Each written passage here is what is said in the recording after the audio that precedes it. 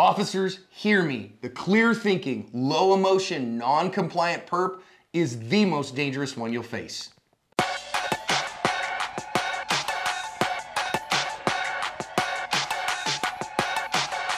Hi everyone, welcome to today's badge cam lesson here at Active Self Protection. I'm your host, John Correia. And I am your co-host, Mike Willever. Today's video comes to us from right over there in Mesa, Arizona. POM pepper spray is next generation OC spray. It's hot, hot at 1.4% major capsaicinoids, and its modular design means you can customize it exactly to you. Three different setups, lots of different color combinations. You can make it exactly as you like. And the flip top safety prevents accidental discharges. It's 10 to 12 foot range and 25 half second blasts. Make sure that you can keep that long range eye poke at long range. I trust POM OC and I recommend it for everyone for self-defense. You're seeing here some images from Mesa's real-time crime center. They got a call of a shooting in a complex, like somebody actively discharging rounds in the complex. Uh, they're headed towards that complex and they see a guy matching the description running across the street here. So you see the cops kind of running in towards the place where the shots were fired. But then the real-time crime center folks are calling them out and going, hey, the guy that just ran across the street's the dude that you're probably worried about. So they're gonna follow him there and they follow him over to another apartment complex across the way, start calling him out because he's kind of around these apartments. Let's listen in on the badge cam audio from here. Just went inside the apartment. You guys hear me? He just he, went, he just opened that door. Uh, black male with a hoodie. It looked like.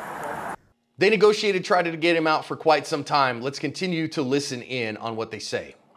He's coming out again. Coming out. Nice, please. Come out with your hands up. Come out with your hands up. Put your hands up. Can't see him. Come on out here. Someone take over verbals. Come on out here with your hands up. Keep walking. Yo, this is the Mesa Police Department. He just stuck down. Do what you're told. You guarantee your safety. Come out with your hands up.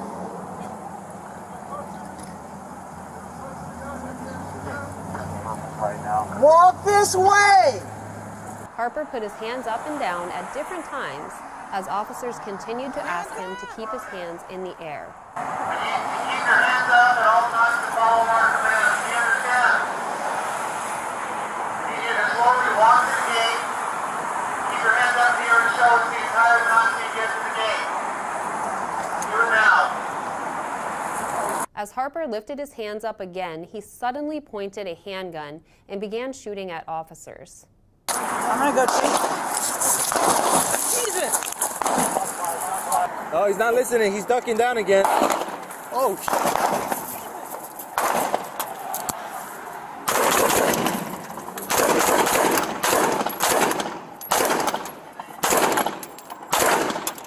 Obviously, we didn't see a whole lot on the officers' badge cams, but there was surveillance video from the apartment complex, again with no audio. You can see the guy tucks the gun between his legs and puts his hands up like, hey man, I'm okay. And, and he's talking with them while they are trying to negotiate him to surrender. But again, he didn't put the gun down. He's got it tucked between his legs. And then eventually, when he decides that he is gonna run out of time, he grabs the gun and picks it up and discharges rounds at the officer. The officer with the rifle got some hits back on the guy, and, and he fell right there as he was running forward. But he has the gun in his hand. So, this is a video here from the airship, from uh, the eye in the sky. And so that you can see he does have the gun in his hand. That hand is still moving around. So they left him there for a while and tried to, you know, get him to toss the gun away. He wouldn't do it, stopped responding. So then SWAT kind of, you know, came in to finally get him into custody. Dude actually survived his injuries here. I didn't hear any reports of injuries from the original shots fired call, so I don't think anybody was injured there. This dude is obviously facing a bunch of charges for shooting at the cops as well as for the original shots fired, and thankfully no one else was harmed. Hey, you know, we say it all the time marksmanship is the master, right? When's the last time you worked on yours? Did you know in the ASPA Unlimited app we now have 15 full length firearms training classes in there for anybody to take? Come and join us, would you?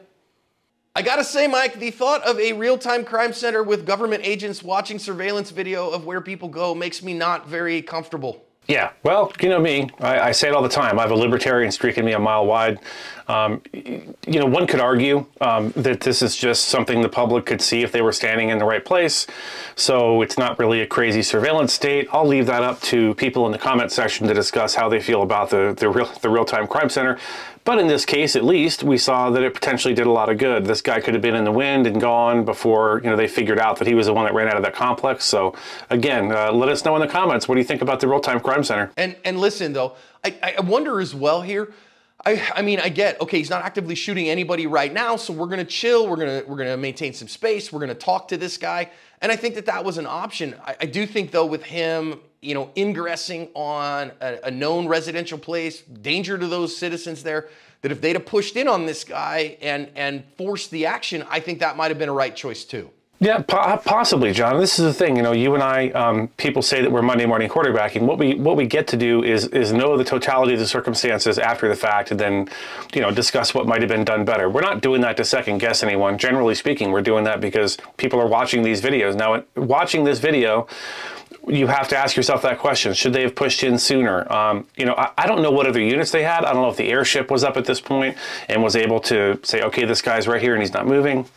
But these officers have to make decisions in real time, usually very quickly, usually without enough information to make the decision we would have them make. And and listen, because they got to make those decisions, sometimes you go, okay, wait a minute, nobody is actively dying right now. We can chill out. We can, you know, kind of wait and see what happens. Call this guy out. I do think they use their verbal skills incredibly well here. I think that, you know, they said, hey, one person talking at a time, one person handling verbals.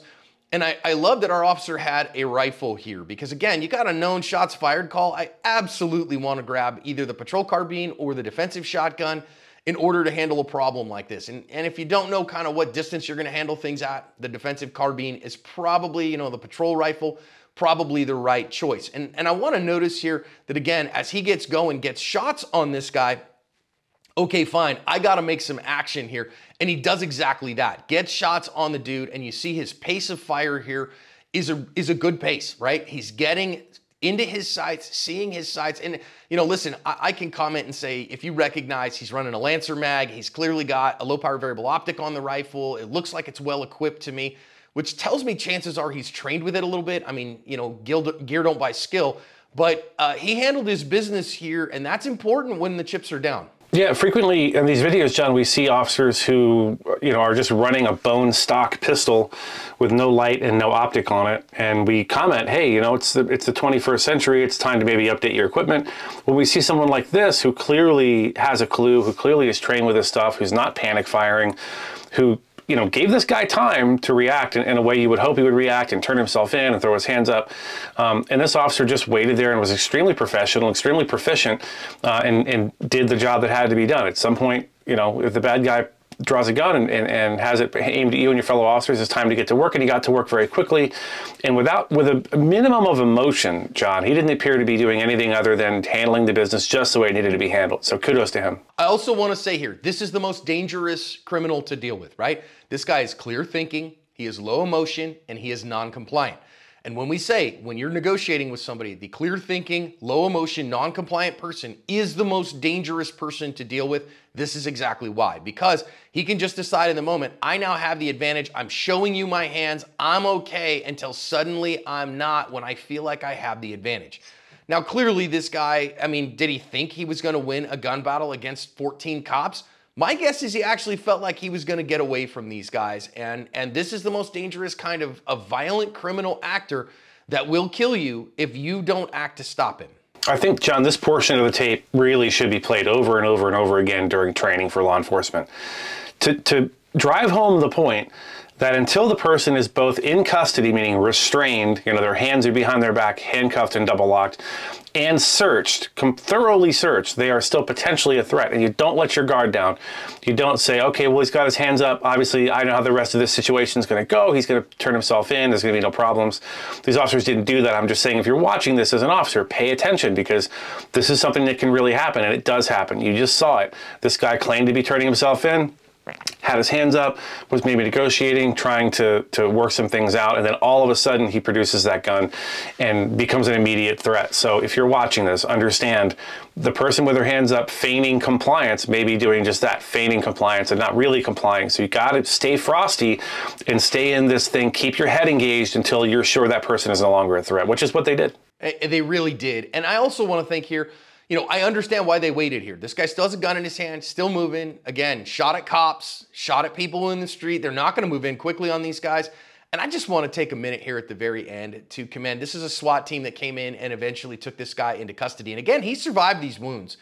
And and listen, what what giant balls it takes to to go in on a guy who you know wants you to die and um, not fill him full of lead, but instead take him into custody and then you know, render first aid to him, get him to the hospital, so then that way he can face the criminal justice system, but have a chance at rehabilitation and turning his life around.